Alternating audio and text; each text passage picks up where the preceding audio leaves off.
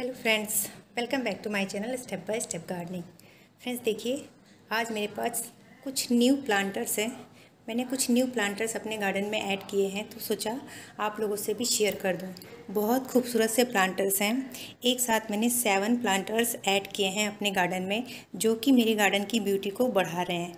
देखिए, आप लोगों को भी बहुत पसंद आएँगे। और सभी में मैंने अलग अलग प्लांट लगा रखे हैं। छोटे से प्लांटर हैं ईज़िली मूव हो जाते हैं। आप इन्हें कहीं भी शिफ्ट कर सकते हैं, कभी लिविंग रूम में रख लें, कभी आउटसाइड रख लें। तो ये मेरे कुछ प्लांटर्स हैं और सभी के सभी वाइट कलर में हैं। एक्चुअली वाइट कलर काफ़ी रॉयल और अट्रैक्टिव लुक देता है, इसलिए मैंने इसे वाइट कलर में लिया है।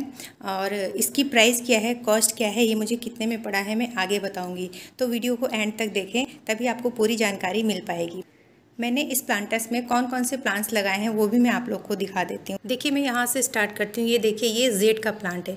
जेड बहुत ज़्यादा खूबसूरत लगता है। ये मिनी जेड है। इसकी छोटी छोटी लीव्स होती हैं और बहुत अट्रैक्टिव लुक देती हैं। ये ग्रीन कलर का है। इसे एलिफेंट बुश भी बोलते हैं लकी प्लांट भी बोलते हैं। जेड को अपने घर में लगाना लोग शुभ मानते हैं। पतली सी स्टेम है, इसलिए मैंने सपोर्ट के लिए एक स्टिक भी लगा दी है कि वो इधर उधर गिरे नहीं। छोटा सा ही प्लांटर है तो आगे मैं इसको कटिंग करके अच्छा सा बॉन्साई बना दूँगी इस वाले जेड प्लांट को तो और भी ज़्यादा ब्यूटीफुल लुक देगा। फिर मैं आगे इसकी वीडियो आप लोगों से दोबारा शेयर करूँगी। ये प्लेन ग्रीन कलर का जेड प्लांट है और साथ में मैंने वेरीगेटेड जेड भी ऐड किया है अपने गार्डन में। ग्रीन लीव्स वाला जेड तो आपको बहुत जगह देखने को मिल जाएगा, लेकिन ये वाले जो प्लांट है ना वेरीगेशन जेड ये कम ही देखने को मिलता है। तो मेरे गार्डन में ये ऐड हो चुका है। देखिए कितनी ज़्यादा खूबसूरत लीव्स होती हैं इनकी।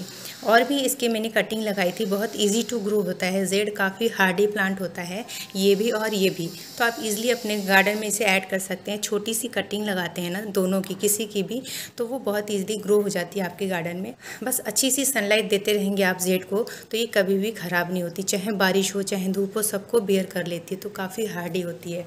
उसके बाद है मेरा ये सेंसीवेरिया यानी कि स्नैक प्लांट बहुत ही खूबसूरत लुक दे रहा है। देखिए, एक तो प्लांटर इतना खूबसूरत ऊपर से ये प्लांट काफ़ी अच्छी ग्रोथ कर रहा है और ये ड्वाफ वैरायटी का है। सेंसीवेरिया या स्नेक प्लांट की बहुत सारी वैरायटी आती है। देखिए वेरीगेटेड वाला है और ये ड्वाप में छोटा ही रहता है। कितना भी टाइम हो जाए इसे, ये छोटे ही साइज़ में रहता है और जब थोड़ा सा ओल्ड होता है तो न्यू बेबी प्लांट बनने लगते हैं इस प्लांट में। तो उस वजह से ये काफ़ी इजीली डिवाइड हो जाता है। बहुत सारे प्लांट इसके तैयार हो जाते हैं एक सिंगल प्लांट से। तो ये मेरा ड्वाफ वैरायटी का है। उसके बाद ये दूसरा भी स्नेक प्लांट ही है, लेकिन ये थोड़ा सा अलग है। इसकी एजेस देख सकते हैं आप लोग येलो है। तो ये अलग लुक देता है। ये वाला ड्रॉप वैरायटी का था और ये लॉन्ग वैरायटी का देखिए, इसकी हाइट कितनी ज़्यादा है। तो बहुत खूबसूरत लगता है ये प्लांट मुझे, इसलिए मैंने इसे अपने गार्डन में ऐड किया है। इसके भी और प्लांटर्स हैं मेरे पास। और फिफ्थ नंबर पे है ये मेरा क्रेस्टुला का प्लांट ये बहुत ज़्यादा खूबसूरत होता है। अगर आप इसे लो लाइट में रखते हैं तो इसकी जो लीव्स होती है, वो कुछ वाइट कलर की हो जाती है ग्रीन कलर की हो जाती है। और अगर फुल डे की सनलाइट में रखते हैं तो रेड कलर बन के आता है। इसका दूसरा प्लांट मैं दिखाती हूँ आप लोगों को। ये देखिए। कितना खूबसूरत लुक दे रहा है। बिल्कुल रेड कलर बन गया है इसमें इस तरह से। काफ़ी रेड हो जाता है, अच्छी सी धूप मिलती है तो और बहुत ब्यूटीफुल लुक देता है। तो आप क्रेसुला को अपने गार्डन में ऐड कर सकते हैं। इस तरह से छोटे छोटे प्लांटर्स में भी लगा देते हैं तो बहुत खूबसूरत लुक देता है। बस इसे अच्छी सी सनलाइट मिलेगी तभी खूबसूरत सा कलर निखर के आएगा क्रेसुला के प्लांट में। ईजी टू प्रोपोगेट होता है। इस तरह से छोटी छोटी कटिंग्स भी लगा देते हैं तो ये ग्रो हो जाता है ईजिली ग्रो हो जाता है। देखिए यहाँ इतनी छोटी कटिंग है, इसमें से भी न्यू न्यू स्प्राउट्स निकल के आ रहे हैं। तो इजी टू ग्रो होता है क्रेसुला का प्लांट उसके बाद फिफ्थ नंबर पे है मेरा एनजॉय पोथोस ये भी बहुत खूबसूरत होता है। इसकी जो वेरिगेशन होती है, जो ग्रीन और वाइट का कॉम्बिनेशन होता है, इससे इसकी ब्यूटी और ज़्यादा बढ़ जाती है। और साथ में मैंने छोटे से वाइट कलर के पॉट में लगा दिया है तो ये और भी ज़्यादा खूबसूरत लग रहा है। आप अगर इसे बुशी बनाना चाहते हैं तो बार बार इसकी जो स्टेम लंबी होती है, उसे कट करके इसी पॉट में लगाते जाएँगे तो वो और ज़्यादा बुशी बन जाएगा। यहाँ से भी न्यू ग्रोथ हो जाएगी और जहाँ ये कटिंग लगाएँगे, वहाँ से भी कटिंग लग के तैयार हो जाएगी तो बहुत बुशीशा लुक हो जाएगा। तो मेरा प्लांट भी काफ़ी खूबसूरत लग रहा है, देख सकते हैं आप लोग। और लास्ट में है मेरा फिलोडेंड्रोन का प्लांट फिलोडेंड्रोन की बहुत सारी वैरायटी आती है फ्रेंड ये देखिए कितना खूबसूरत लग रहा है. छोटे छोटे लीव्स हैं इसके और ये हैंगिंग में भी लग जाता है और क्लाइंबिंग में. तो मैंने छोटे से कंटेनर में एक छोटी सी कटिंग लगाई थी. काफ़ी अच्छी ग्रोथ हो रही है. न्यू न्यू लीव्स आ रही हैं, देखिए. इसमें भी न्यू लीव्स आ रही है। फिलोडेंड्रोन की अदर वैरायटी भी मेरे गार्डन में अवेलेबल है। डिस्क्रिप्शन में मैं वीडियो का लिंक दे दूँगी तो आप वहाँ क्लिक करके देखेंगे कि मेरे पास और कौन सी वैरायटी है फिलोडेंड्रोन की। काफ़ी हेल्दी प्लांट्स हैं मेरे गार्डन में फिलोडेंड्रोन के। फ्रेंड्स इतने खूबसूरत जो प्लांटर्स आप लोग देख रहे हैं ना, इसकी कोई कॉस्ट नहीं है। फ्री ऑफ़ कॉस्ट मैंने इन्हें तैयार किया है। एक्चुअली ये डीआईवाई प्लांटर्स हैं।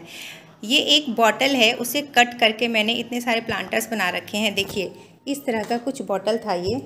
ये है, देखिए। मुझे कहीं से एक साथ इतने सारे बॉटल मिल गए थे तो मुझे आइडिया है कि मैं इसे कट करके कुछ प्लांटर्स तैयार कर लेती हूँ तो बहुत खूबसूरत लुक देंगे। और हुआ भी ऐसा ही। मैंने इसे यहाँ से कट करके उस पर जो एजेस थी उसे रेगमाल से क्लीन कर दिया ताकि हाथ में कभी लगे ना, और इस तरह से कुछ लुक देने लगा। वाइट होने की वजह से इनकी ब्यूटी और ज़्यादा बढ़ जा रही है। और साथ में कुछ ग्रीनिश प्लांट लगा दिए हैं तो और ज़्यादा खूबसूरत लग रहे हैं। तो आप भी ऐसे डी प्लांटर्स बना के अपने गार्डन में ऐड कर सकते हैं और जो यूज़लेस चीज़ें होती हैं वो हमारे गार्डन में यूज़ भी हो जाती हैं। और प्लास्टिक को यहाँ वहाँ फेंकने से पॉल्यूशन बढ़ता है, इसलिए हमें किसी भी तरह की प्लास्टिक को ज़्यादा से ज़्यादा रीयूज़ करने की कोशिश करनी चाहिए। और जब ऐसे सिंपल एक बॉटल से इतना खूबसूरत प्लांटर बन के तैयार हो जाता है तो फिर इसमें बुरा ही क्या है? हमें ऐसी कोशिश ज़रूर करनी चाहिए। ये आइडिया मुझे अच्छा लगा था, इसलिए मैंने सोचा एक वीडियो बना के दोस्तों से शेयर कर दूँ कि अगर आपको कुछ ऐसे कंटेनर कुछ बॉटल्स मिलते हैं तो आप भी इस तरह से उसे रीयूज़ कर सकते हैं, उसे कट करके खूबसूरत सा उस पर डिज़ाइन भी बना सकते हैं। ये मेरा वाइट कलर का है, मुझे वाइट कलर ज़्यादा पसंद है तो इस पर मैंने ड्राॅइंग नहीं किया। अगर आप चाहें तो इस पर कुछ खूबसूरत सी ड्राइंग भी बना सकते हैं, वो अलग से ही लुक देंगे और कलरफुल हो जाएँगे। मेरे सभी प्लांटर्स बहुत प्यारे लग रहे हैं और उनमें लगे हुए प्लांट भी सारे अलग अलग वैरायटी के हैं तो वो भी अच्छे लग रहे हैं। तो मुझे यकीन है आप लोगों को ये वीडियो पसंद आएगा, ये तरीका पसंद आएगा और ये मेरे ये प्लांट्स भी पसंद आएँगे। तो वीडियो को लाइक कर दीजिएगा दोस्तों और चैनल को सब्सक्राइब करके बेल बटन भी प्रेस कर दीजिए, ताकि आगे जो भी वीडियो आए वो ईजिली आप तक पहुँच पाए। जल्दी ही किसी नए टॉपिक पे आप लोगों से फिर मुलाकात होगी। तब तक अपना ख्याल रखिए और अपने गार्डन का भी। Bye friends happy gardening